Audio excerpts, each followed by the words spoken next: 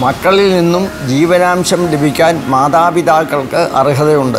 അതിന് R D O മുൻപാകെ ഹർജി നൽകാവുന്നതാണ്.